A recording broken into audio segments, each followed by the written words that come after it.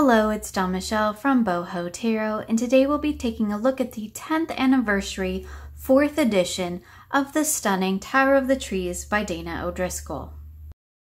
So this has been a long-awaited deck for me. I did um, pre-order it, but I've been looking forward to a little bit larger edition of the Tarot of the Trees for quite some time. Um, I'm not going to do like a full unboxing. I did already unwrap it. It did come in this little um, paper sleeve here, which actually is designed really pretty and looks a little bit like the Oracle deck, which we'll take a look at and do a little size comparison at the end. So to start with, it comes in this gorgeous matte box. Um, you can see it has lovely detail along the sides. We have a little bit of a description. So if you're unfamiliar with the Tarot of the Trees, I'll just read this real quick. So it says the Tarot of Trees is an 80 card colorful and whimsical tarot deck that features classical tarot symbolism through the theme of trees. The deck features a seasonal approach to the minor arcana and unique interpretations of the major arcana. This is the 10th anniversary edition, which is completely redesigned from earlier editions. Enter the forest through the Tarot of the Trees. So I'm really interested to know if the redesign is actually just in terms of the sort of production of the deck versus I really hope there's not like a ton of changes to the cards because I, I absolutely love this deck. Let's go ahead and open it up. So as you can see here, because I already peeked, the cards are massive which actually is one of the things that I personally have been asking for um, with this deck. Like every time I bring out my little one, I'm like, oh, I love, I love this deck. Love it. But I wish the cardstock wasn't glossy and I wish the cards were a little bit bigger so that I could kind of dive a little bit deeper into the details. But oh my goodness, that's a huge difference. Um, that is a lot, a lot bigger. There's the original one that I have. So you can see it is quite a bit bigger. Um, the color tones look beautiful just right here as I'm looking at it. Um, let's go ahead and pull them out of the box. I think they are on that same cardstock that the um, that her new Oracle is on, which I do quite like. This is actually gilded and it's kind of a matte gilding. Um, but that's gonna be, this is a chunky deck. This is gonna be interesting to try and, and try and work with. Um, I do I do kind of wish it was borderless because like that really would kind of been the icing on the cake. Um, but I kind of always intended because I have this one and because I know these cards so well, even though yes, it's gilded, I, I still might trim this. And being the fact that it is so large, like that gives me a little bit even more of an inclination to trim it because I can trim it down. I can take the borders and titles off and it's still going to be a really big deck. It's closer to Oracle size. Um, here is a standard tarot. This is the Green Witch. So you can see there is quite the size difference just between, um, this is a Llewellyn tarot, not the Llewellyn tarot, but a tarot deck by Llewellyn, published from Llewellyn, compared to an Oracle deck. So this is a Rockpool Oracle, which is a pretty standard Oracle size. So you can see that this deck is like even a lot bigger than an Oracle. However, if I trim it down to just the artwork, that's actually a little bit, if I can put that in there, it's a little bit closer to Oracle size. So I might, I might have to do that. One of the reasons why I really don't hesitate to do that is because I know this deck so well. um, it's, it's gotten so much use in my home. Um, let's take a quick look at the back. I mean, that that is just stunning. I really, really like the backs of the um, Oracle deck that she's created, and I think that this these backs are just as beautiful. Um, here is the backs on the edition that I have. I don't know exactly which edition this is. I want to say it's, it's the second edition, but I could be wrong. So enough rambling. Let's take a flip through these cards, but um, I should flip through the cards as I am rambling. I do know these images quite well, so I feel like I could, I would probably know. And so far, everything's looking the same. But the colors are so rich and vibrant, and look how beautiful these images are. I really love the use of trees in this deck. This deck has no people, which is just, I think, fantastic. But we definitely get that sense of the trees themselves having the energy that we would normally see, you know, kind of representing those people. So see here we have the emperor. We have this really big, grand, tall tree, and it's kind of overlooking all these little trees here, right? All these little um, bushes or trees or whatever they are. So we definitely get the sense of, of someone standing over, right? Of, of this big tree kind of being the, the king, the guardian, the, the emperor. His little community is down here and he's standing guard over him. And I, I think that's really beautiful. This is one of my favorite Hierophants. I just absolutely love this tree. I love all of the little detail that um, Dana O'Driscoll has put into this artwork. All the little line work, the, the little black line work is just really one of the things that really thrills me about this deck beautiful lovers. I mean, they're just, they're perfect. They're intertwined, they're together, they're becoming one. It's just gorgeous. I'm going to say that about this whole deck, so just FYI, because it is a deck I love. I do know the images, so it's not really a first impressions. It's more of a, oh, look, it's really big and pretty now. Not that it wasn't pretty before, but. So I love this chariot here because I love this idea that the tree, it's it's solid, it's steady, it might have its leaves all blown off when the winds come in. It might shift according to what's going on, shift along with the seasons, but it's always there. It's rooted in place. That really gives the idea of, of following your path, but staying rooted in who you are. And I just, I love that. Again, I love the strength. We have the tree growing on the side of the cliff. Just beautiful. This hermit. Oh, I'm going to see that over all these cards with the little lantern. I mean, it's just, this is the, the hermit embodied in, in a tree. It's just beautiful. Love this little wheel of the years. We see the seasons represented. Um, and the seasons play very predominantly in this deck in the minor arcana, which I absolutely adore because seasonal work is very important to my practice. I love this justice with we have the one tree that's in full bloom and the other tree that's like almost looks like it's it's dying, it's lost all its leaves. I think that's a gorgeous depiction. So for the Hanged Man, we have the inverted tree, which I think is really lovely. And it kind of, it took me a minute to realize when I first got this deck, and you can see it much more clearly on these larger cards, but it took me a minute to realize that the tree was actually upside down. I thought at first that this was just, you know, with the smaller artwork, this was just some, some brush down here and that the tree was, you know, just bare, bare branches. And the closer that I looked at it, the more I realized that the tree is actually upside down, or at least that's my interpretation of it. Um, it definitely appears more so in this larger version, which is lovely. I love this death card. Just I think it's just beautiful. We have the the chopped down tree. We have, you know, all of these dark heavy clouds above, but yet all this greenery below. I just I think it's beautiful. So here we have the temperance. We can definitely see all of the elements in movement, I think, in this card. You know, we have water, we have earth, we get the idea of wind with the kind of curly cues in the movement, and we have fire in the sun. I love that idea of all of it coming together. Love this devil card with all of the um, chains around the tree, and then we have like the, the crow, the raven there. Beautiful. Again, a gorgeous tower. This tower card always kind of makes me giggle when I see it because one of the kids um, said, not my kids, but one of one of my friend's kids. Um, we were doing readings with this deck, and she looked at it and she said, "The tree looks like it's attacking the tower." And I thought that's kind of funny. Like the tree is not the tower; the tree is the thing attacking the tower. And I just thought that was really interesting. Beautiful star card. I love the the black um, night there with the big star in the center. We have the three shooting stars, which is wonderful. Gorgeous. Beautiful moon card. Gorgeous sun. I love the little sunflowers, the big bright sun, and we still have the tree, which I think is really wonderful. I'm going to try not to go into too much detail or we'll be here forever because I really could sink into a lot of detail with these cards.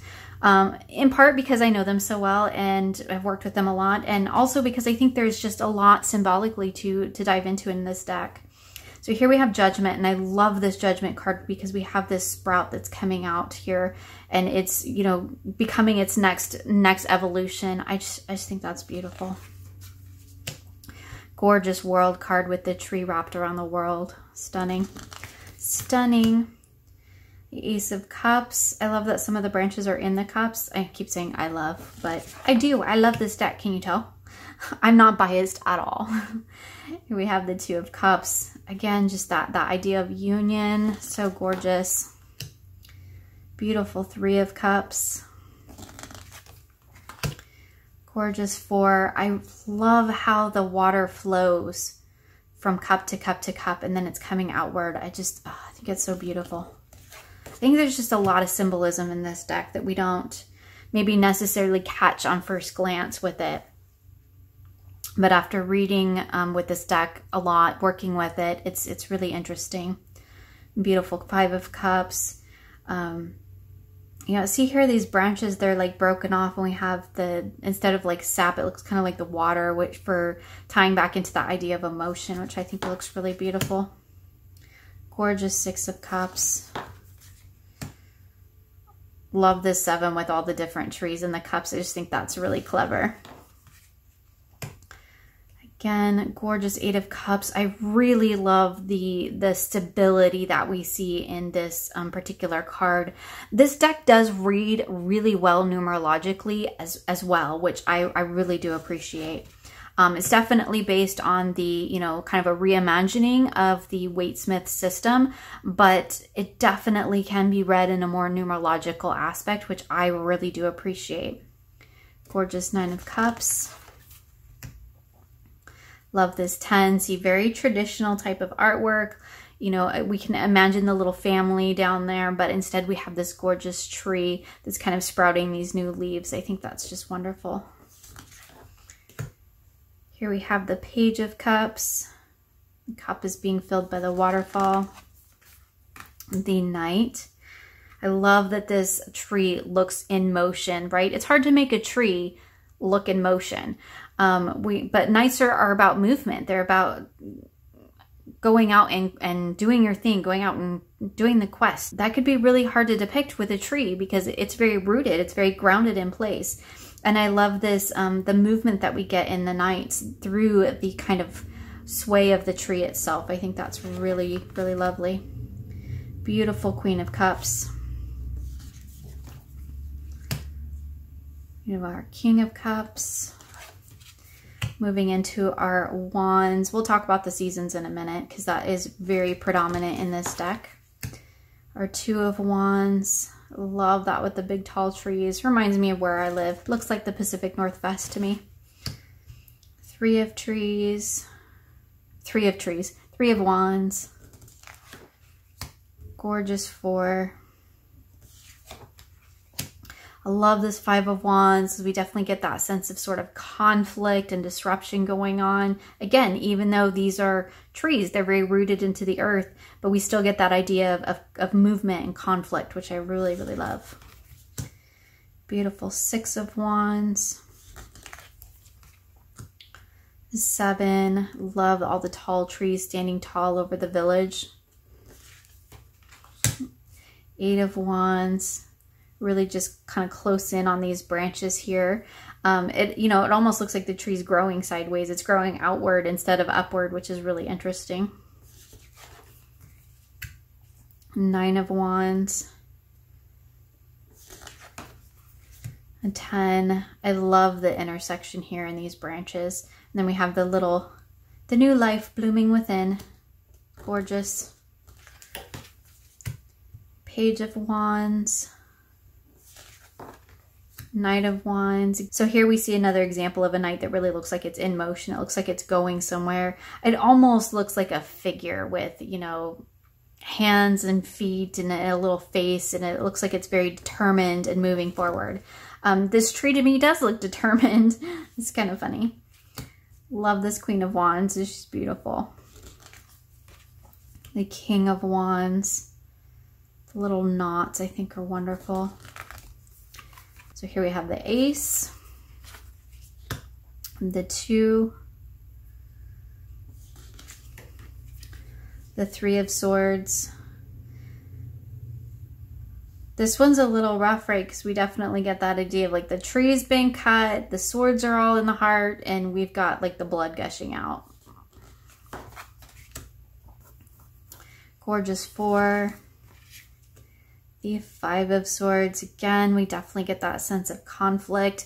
I don't know that you necessarily re really even need the swords in these cards. Um, I think that the way that the artist has depicted all the trees in the sword suit could really um, take on the, the symbol of the, the, the swords themselves. But I really don't mind the swords in the cards. I just don't know that you necessarily need them. I think that she does such a wonderful job of of capturing the movement and energy of these cards within the trees themselves. I think with the swords being um, kind of front and center and they kind of draw the attention in the suit of swords, um, I think it's important to pay attention to the trees and what's going on with them. Um, there's a lot, I think, to be uncovered within what's going on in the trees themselves as well. Here we have the Eight of Swords. I mean, if you took the swords away, right, if you took the swords away and it was just this tree bound, or maybe if we had a tree with eight branches bound, I think you could still get the same idea. But again, I don't mind the swords at all. But I do think that um, the artist does a wonderful job of, of kind of creating a movement and energy through the trees themselves. Nine of Swords. Ten of Swords. This one is a little bit of a tough one. I mean, trees don't bleed, so it's like really metaphorical, right? But uh, you know, they can be uprooted, they can be cut down, and that's that can be really, really devastating. Page of Swords. The Knight of Swords. Again, we see that movement, which is really wonderful. The Queen of Swords. I do quite like this one with the tree kind of um, wrapping itself around the swords. I think that's a wonderful depiction for the Queen of Swords. There's the King of Swords, very like sword in the stone, you know, King Arthur coming to pull out the sword. I think that's really fun. So here we have the Pentacles, there's the Ace, and our two. I love the way the Pentacles are depicted in this deck. Three Pentacles. This one's very Pip-like too, which is really interesting. A couple of the um, cards in this deck really are very Pip-like it's kind of like a, a Pippi RWS because there's no people, there's there's not real scenes as we tend to think of scenes in a deck. Um, but the trees take the place of the people, so there are scenes depicted. But you could also kind of see it a little bit as, as a Pip style deck too, because in some cases we just have the symbols, the emblems are really what's front and foremost. But again, see here, if we pay attention to what's going on with the tree in the background, like it looks like devastated. It looks sad. It's drooping. It's dark. It's lost all of its leaves. And then here we have our Six of Pentacles with the little squirrels taking all the pentacles away. That one's so cute. Seven of Pentacles. Love that. I love this Eight of Pentacles. I think, did I just have that one on top? Look at this. Let's just look because I have it right here. Look at the difference. Oh, you can see so much more detail.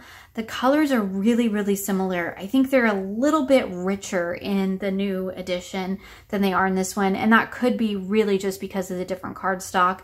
Um, colors look a little different when you put that glossy overlay on top of them than when you have this like matte finish. Beautiful, beautiful. Love this Nine of Pentacles where the pentacles are all embedded in the roots in the earth. Oh, I just think that's beautiful. Gorgeous Ten of Pentacles. Again, this one kind of like reminds me of home. Looks like the Pacific Northwest. We have the Page of Pentacles. The Knight of Pentacles. Again, we get that sense of movement, which is really lovely our queen. She's protecting her little pentacle. I think that's gorgeous. One of my favorite cards in the deck. And finally, our king. Oh, and so this one does have a couple of extra cards. Um, we have the regeneration card, which I think is one that came in the edition that I have as well. And a new card, it looks like Roots beautiful. I don't tend to leave those ones in the deck, but those are pretty gorgeous cards. Love that. One of the things that I did want to do um, is to kind of show you how each suit goes through the seasons and because that's really one of my favorite things about this deck besides the fact that it, like it's all trees and landscapes and there's no people which totally makes me happy um, and these cards are so large they barely fit in my space here um, but we have the suit of pentacles has all wintry scenes depicted and we saw that in you know all these purples and blues um, and the black trees. I think the trees are all black and the pentacles are all um, yellow and you can see like the sky if I can try to fan them out. You can see we've got that purpley blue sky across all of them with the black trees and always in the snow. So we have very much winter represented here in the um, suit of pentacles. We have spring represented. So you can see here that we have the um, Again, if I can kind of fan them out, that yellowy orange um, with hints of blue all throughout the skyline of this, this particular suit. And we have lots of flowers, lots of things blooming around all the cups. And of course we have, you know, quite a bit of water as well in terms of that blue color that we have throughout um, the suit. So that is spring. And then we have um, summer is represented by the suit of wands and you can definitely see like that gorgeous um, blue summer sky there. There's lots of sun. There's lots of um, leaves and greenery, lots of grass areas in this particular in this particular suit, which is really wonderful. And then we have finally fall. You can see here that we have lots of the reds and oranges and yellows, all those really um, kind of hot colors. Um, which I think is really interesting because I, I personally kind of associate the um, summertime with the with the hotter colors because you know it gets hot in the summer but i guess that depends on where you live. I think i have those correct. It has been a really long time since i've read all of the sort of introductory information on um, this particular deck. We read these cards very um, numerologically and when i say we I mean me and like all the kids and friends and family um, because this is the deck that always like i've mentioned many times before this is actually the deck you know that always goes camping with us because this is the one everybody everybody wants. Obvious changes between these two um, editions of the deck. The uh, fourth edition, the new fourth edition, is much, much larger. Um, we have kind of these green decorative borders on here. Here we had black ones. Um, we have a similar, I think, font for the titles. And of course, we have totally different cardstock. This is um, matte and this is glossy. Um, this deck is also uh, matte has matte gold gilding on it, whereas the um, original one that I have here didn't have any gilding, and I just I never got around to edging it. Um, the backs are also quite different. I do really, really like the new back because it matches the Oracle, which I am going to drag out here in just a second. But I'm really, really pleased with the size of it. Um, even though, again, I would have liked to have seen it um, borderless, I'm actually kind of not sad about it because I'm not, I'm just not a fan of gilding. This is actually really, really nice gilding. I'm not saying that it's not, but my intention with the, and the reason I bought this larger um, fourth edition, because I knew it was going to be bigger. I had no idea it was going to be this much bigger, but I knew it was going to be quite a bit bigger. And so the whole reason that I bought it was because I wanted to trim it down to the artwork only. And that's something that I've always wanted to do with this little one. And I haven't for two reasons. Um, one, because then it would be like a teeny tiny little deck, right? If I took all the borders off. And two, like I said, the, the kids use this deck all the time. And if I took the titles off, they're not going to know what is what. So I wanted to leave that one as it was and that one is going to be for them and this one is going to be for me. So I am probably going to trim it down to this gorgeous artwork because that's something I've always wanted to do and now I finally can. Now the question is with this behemoth of a deck, how are you going to shuffle it? I think that maybe I could corner shuffle. I mean, kind of. Sorta, yeah, nope, because it's matte, so it's not gonna really slide back together. So this is not going to be a, um, like, I can't even get it back in there. So probably not going to be a riffle shuffle deck. Um, like, uh, wow, I can barely get my hands around it to to do this either. So um, that might get, you know, a little bit better if I decide to go ahead and trim it. And that might make it a little bit smaller, um, a little bit easier for me to handle. But I'm not like disappointed in the size. I'm really not because I so wanted to be able to see this rich detail in this imagery. I so wanted to be able to dive into these images and now I feel like I really can. So while I'm here and just sort of having a little play, I pulled out my, um, that's the box. I pulled out my um, Plant Spirit Oracle by Dana O'Driscoll, so by the same creator. And I just kind of wanted to just have a little bit of a play with the two of them. Um, I think that the cardstock is the same. I mean, it feels exactly the same other than the Plant Spirit Oracle is obviously borderless, which is the title at the bottom. And the Tarot of the Trees, um, you know, obviously has the border around it. But I think that, um, I think that these two decks will probably read really well together too. Quite beautiful. I, I, really love her artwork. I really love the way that she depicts um, movement and uses color. I just think it's really beautiful. Ooh, Fire for the Emperor. That works quite well, doesn't it? It didn't really intend to do like a flip through, like a side-by-side -side flip through, but I kind of just, I'm here, so I thought we'd just do it. Hemlock for the Five of Wands. Interesting. So of course, obviously in the plant spirit, um, we do have, you know, more humanistic things. We have hands, we have um, a, a, bigger, I, I don't guess you could say variety of things. Um, it's not all just about the trees, but I do really like the tarot of trees being all just about the trees. So see here in this one, you can see there's a face in that tree. But yeah, it's just, I think they're beautiful. They do have the same, same artwork for sure. Um, let's look at the box together because that's really pretty. So let's see here. The um, Tarot of the Trees, you know, is, is a touch bigger than the Plant Spirit. And actually, I think like they're a little bit closer to the same size in terms of the artwork. Um, it's just a little bit wider on the Tarot of the Trees and a little bit shorter in terms of the, the art space area. So yeah, I just wanted to have a little play with them. I was super excited about getting this deck. Um, I, I really love uh, her artwork. I really enjoy working with her decks. And like I said, the, the main reason that I wanted to get to this particular um, edition, the larger edition, for one, just being curious and wanting to see it, but really so that I can, you know, trim it down and just have these um, gorgeous works of art to use in my readings.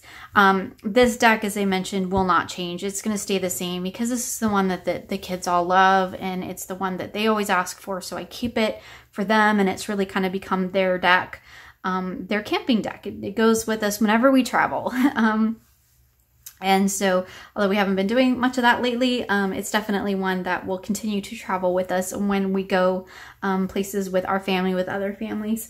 And this one will now be just for me, which I'm really excited about. Um, definitely think I'm going to be trimming it. It'll make it a little bit smaller. Um, and like I said, although this gilding is actually, it's very nice gold gilding. This is no criticism of the gilding because even though I do not like shiny gilding, I don't really mind matte gilding but I really want to trim it. Um, just because I know these images so well, I don't really need them. I don't need the titles, really is what I'm getting at. So I can take the titles off and Seeing Says it's just going to be just for me. Uh, it's going to be um, beautiful, I think, and I'm really excited to, to do that. So that is a look at the new 4th edition 10th anniversary of the Tarot of the Trees. And we did a little bit of a comparison to the previous editions, not a side-by-side -side comparison, but just talking about the different artwork and cardstock and of course, we also took a look at it um, next to the Oracle by the same creator because that's just always fun to do. Thank you for joining me today. You will find links for the decks featured here in the description box below. I hope you enjoyed this video and will join me again soon for more creative tarot for an inspired life.